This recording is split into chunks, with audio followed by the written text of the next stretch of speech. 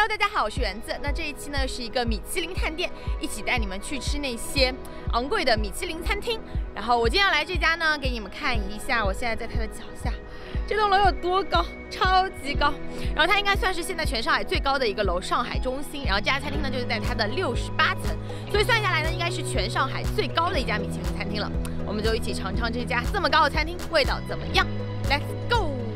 那它的本店呢，其实是在法国的勃肯第，然后开了已经有一百年历史，就是一九二一年的时候成立的，到现在差不多连续拿了三十多年的米其林三星，在它法国本店。那这家上海店其实相对来说是比较年轻的，才开了有三年左右啊，拿的是米其林一星。就会看到我在拍摄，他们店员给我拿了他们主厨的那个书。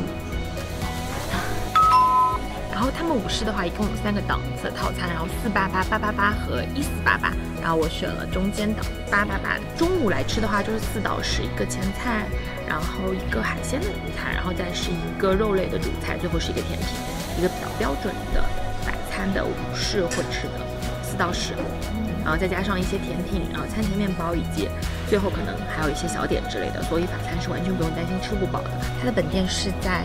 呃，法国的勃肯第嘛，然后也是一个出产葡萄酒非常非常著名的地方，然后所以呢，就我也选了一个来自勃肯第的酒作为餐酒的搭配。这是他们特别经典的一个餐前小点，叫鸭肝慕斯，好看。它外面的这个黄油脆壳特别特别的薄，然后里面是鸭肝慕斯，然后做的比较清爽，不会腻的那种。这是第二道餐前小点，中间的海螺。质地还是很 Q 的，这个勃肯第的蜗牛，然后它这个蜗牛做法还蛮特别的，炸的蜗牛球，所以他们家是会在三道餐前小点都上了之后，才让你去选那个你要吃哪个套餐。它炸过的那个鹌鹑蛋中间还是半熟的，特别的嫩，然后周围的话是蘑菇脆片和菠菜脆片，脆脆的口感，很有空气感。然后底下的这个慕斯也是蘑菇的，所以整体是会比较厚重一点。我点的主菜一道都还没有上，我现在就已经很开心了。它的几个餐前小点真的还蛮不一样的，就整体就是口感层次又很丰富，然后也是比较清爽、比较呃开胃的，所以就很让你对接下来的这个就餐充满了期待。喝口水。这边是帮您带来餐前面包，一共提供包。分别带来是谷物的面包，然后这边是一个玉米面包，中间是海盐千层，比较经典一些，也是受欢迎程度最高的。外面是脆的，里面是松软的。以及第四款带来是板栗的面包，最后一款是小法棍，比较硬一些，但也会有嚼劲一点。嗯，那我要先给我这个海盐千层和板栗。好嘞。然后这两个黄油的话，这个是比较经典的，然后这个是低盐的，可以根据自己的喜好来选择。据说他们家黄油超好吃。第一道菜，它的名字叫做四川三文鱼。看那个名字，觉得是一个很重口的菜啊，其实完全不是，它只是取材，它选用的是四川那边的一个淡水的三文鱼。然后它整个第一道前菜的做法也是很清爽的一道呃冷菜。同时，我特别特别喜欢它那个粉色的脆片，粉色的那个啫喱，然后它应该算是拿葡萄然后做成那种冰沙的质感。在一盘菜吃完之后，最后吃那个冰沙，特别清爽，喜欢。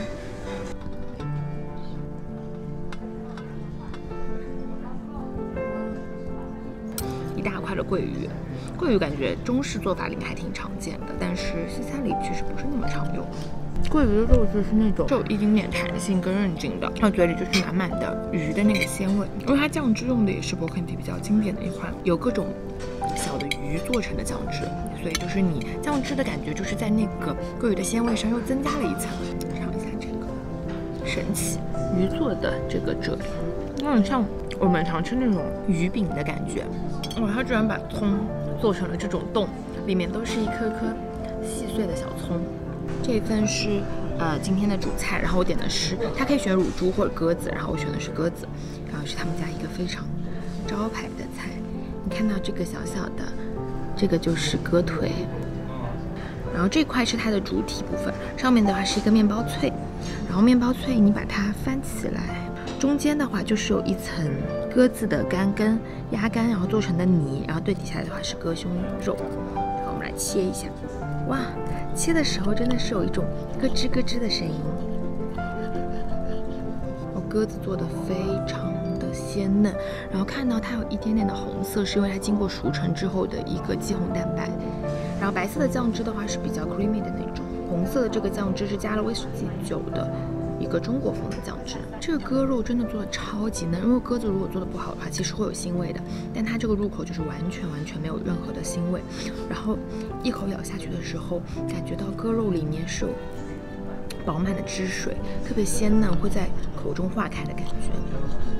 然后表面的这个面包脆片真的很重要，它让口感层次又增加了很多。就你在嘴里一会儿感觉到是鲜嫩的鸽肉，一会儿感觉到是面包脆。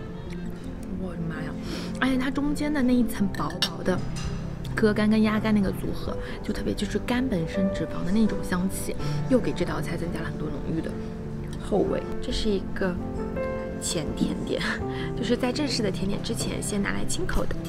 一个米脆片，然后底下呢是雪芭，然后最底下还有一个草莓冻。这是一个彻头彻尾的开心果，然后这个酱汁是卡曼橘酱汁，然后比较酸甜甜。开心果本身坚果嘛，它奶香味应该是比较足的。开心果的味道还蛮浓郁的，它就是从外层然后到里面都是满满的开心果，然后不会特别特别甜。其实法甜是很甜很甜的嘛，我其实有点担心自己接受不了，但还可以。芒果丁跟卡曼橘酱很好的平衡了那个腻。所以就酸酸甜甜的，整体吃下来还蛮适合中国人的口味。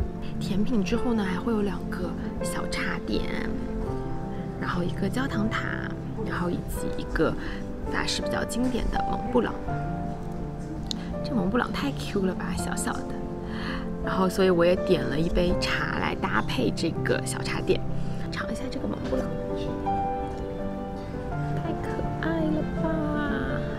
蒙布朗上层是栗子泥，而中间它加了一点果酱，然后在传统蒙布朗基础上做了一些改造。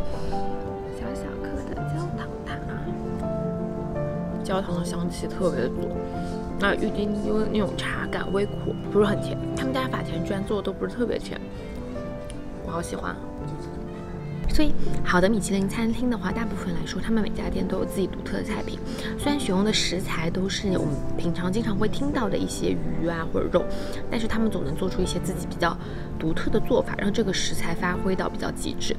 然后，其实是一个很匠心的一个过程。他们会改变每一个细小的东西，然后所有的主菜以及周围的配菜的搭配都是精心设计过的，经过不断的调试。因为我之前其实只会看《东京大饭店》，应该很多人看过，就是会感受到他们的匠心，每一个原。材料选自哪里，哪里的歌会最好，哪里的三文鱼是最好的，都要试上无数次。所以你看上去呈现的是一小小的盘，其实它就是冰山一角，它背后成有非非常多主厨，然后整个团队以及整个品牌坚持的一些理念。我觉得这些可能都是让我们去慢慢体会的。如果有机会，你们下次来就是上海旅游的话，或者说在上海小伙伴，然后要特别纪念日，其实可以考虑来这里一下。我觉得是那种不太会让你很失望的。就整体还蛮惊喜的。然后我中午吃这个套餐是八八八，加百分之十五的服务费之后应该是一千出头。然后我自己就额外点了一杯酒，然后跟呃一杯茶，待会儿买单看应该在一千三左右吧。嗯